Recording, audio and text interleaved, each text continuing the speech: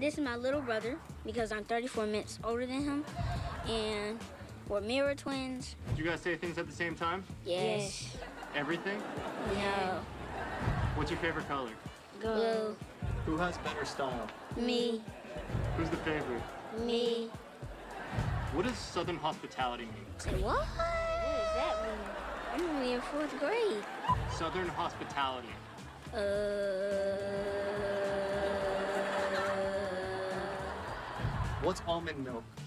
It's at first it's kind of complicated. You take a cow, you milk it, and then you wanna take all the bad stuff out of it, and then you wanna put almonds, in it, and then start stirring it up, and then take the almonds out, and then there'll be almond milk. You know what I'm saying? What's a college loan? Say what? Cologne. Cologne. It's when you rub. Put, uh, my daddy taught me how to do this. You take some cologne, put it right here, and then you rub it in, and put it all over you.